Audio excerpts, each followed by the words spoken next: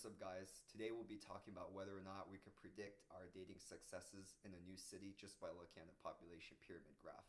We'll be analyzing four cities I know decently well and seeing whether or not our predictions can actually line up with my experiences there.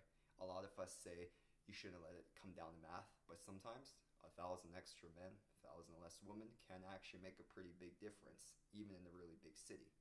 So, we'll be discussing my personal ranking of the five most important aspects of a population pyramid and what I believe is most important all the way to least important. Let's go. Okay, so let's go and get started.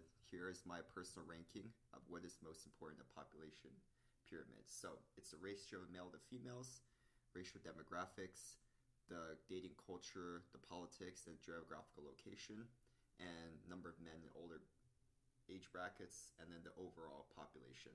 So we're gonna hop right into uh, my personal ranking is just slightly different.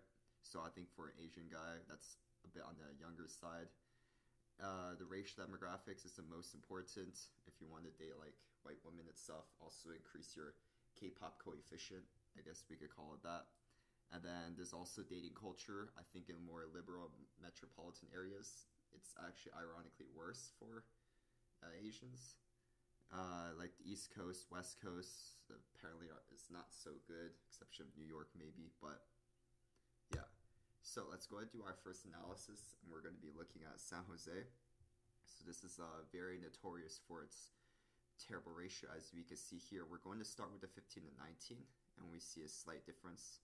Remember how a thousand actually makes a pretty huge difference, especially if it involves uh, more men than women.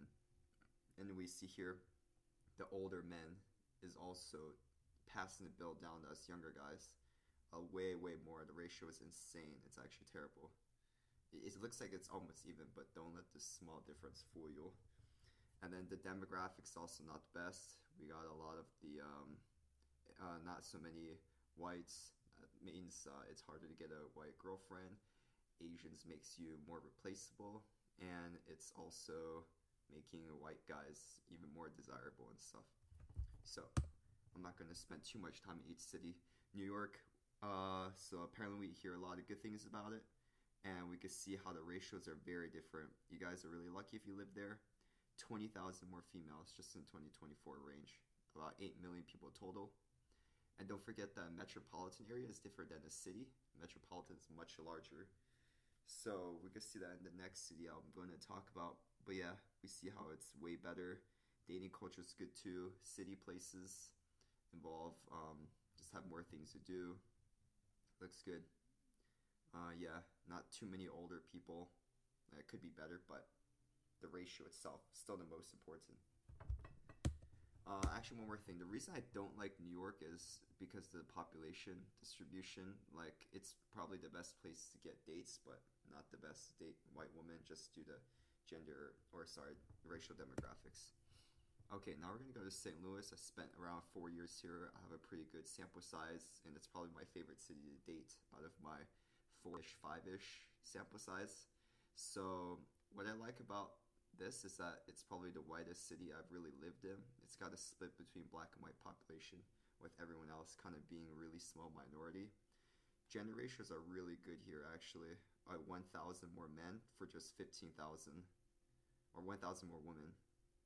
And then older people, this is kind of normal in a bigger city, or in the metropolitan city. You're going to have some older people just because of the workforce. We've got a few solid colleges bringing the ratio up pretty well. And uh, yeah, and this is just a St. Louis city. The metropolitan area has over a million people, but the city itself, how it's classified, only has 250,000. Okay, I want to compare that with Tucson a bit because both of them are just like regular cities. And I have a decent sample size in this city also. So uh, I found that it's, it's a split between Hispanic and white. So like St. Louis, but for every black guy, it's like a Hispanic essentially. Okay, now this is the reason I like this city is it's a bit interesting. It's different. Notice how like there is there are very few older men and women compared to the younger generation. This is due to the presence of a university city that's kind of dominating the college town, but it's not exactly a town. It's a bit more. It's like a medium-sized city, but we can see that there are around a thousand more men, almost 2,000 more men than women in this range. We check out the 18, 19, it's slightly closing, so I assume the university gives a lot of female students, but a lot of the workforce is still male dominated. So that's why I thought this place was interesting.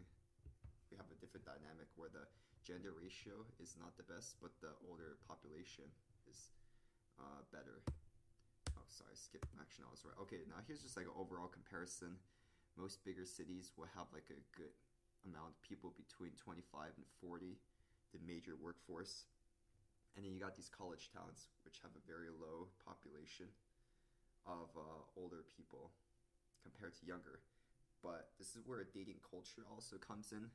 So places where Asians are a majority, I think it's actually less accepted to be dating a Asian. I don't know. It's really hard to say this, but even if they're accepting, you're just in competition with other Asian guys, or if you're black, or if you're white, you're just in competition with other people with your same archetype.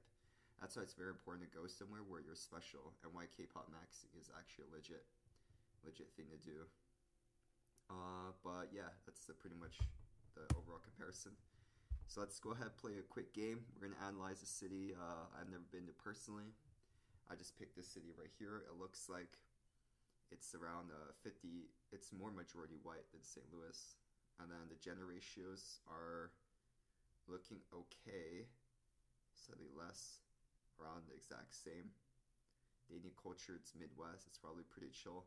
I would say this city is probably somewhere slightly less than St. Louis, but better than Tucson. Yeah, that's where I would kind of put it. And here's my rankings. It's just approximate, just throwing a random number on each of them. Uh, yeah, and this is just the US. Europe is better than all of them, obviously, but we do what we could do. Now we're going to go ahead and analyze the actual results I've had in these cities and see if they line up with what I've preached. So we're going to run through the personal statistics really quickly. So I just call a successful date something that at least ends in a makeout. So within these time frames, there were more than this amount of dates usually, but we're just gonna kind of average them out a bit and see if we could draw a conclusion. So I have I usually record my dates or I don't record all of them. I record the ones that and then some kind of success basically. And I found that San Jose, the time frame I used for this statistic was around 90 days. Uh, I think the average rating is a good way to look at it. Uh, maybe in a different video I'll talk about how I rate them, but I usually try to do them comparing to each other to try to keep them accurate. So this is a 6.54 average. New York, I had a shorter time frame, but I was still able to squeeze in two successful dates. I'm not going to go too much into detail on what I did with most of them. Uh, but yeah, I put them at a 7 average. St. Louis, it was a 75 time range. I did have 15 successful dates, average rating 6.87. And then Tucson, there was uh, around 60 days, 11 with a 6.81. So yeah, as I expected, um, there's some nuanced reasons why I still think St. Louis is better, but I'm not gonna say every single small detail. But I would go back here if I could. Uh, yeah, so it's a slightly higher version or slightly higher number. I hope you guys enjoy my quick analyzation. I could have gone further into depth, but didn't want the video to be too long. Let me know how your guys' cities are in the comments, and uh, see you next time.